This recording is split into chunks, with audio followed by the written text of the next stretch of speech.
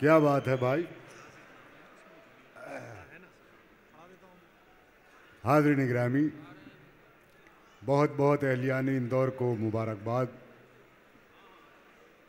और दिल की अमीर गहराइयों से राहत साहब को बहुत बहुत मुबारकबाद कि उनके जश्न का ये मुशायरा मैं भी कमोबेश पैंतीस, चालीस सालों से मुशायरे पढ़ रहा हूँ।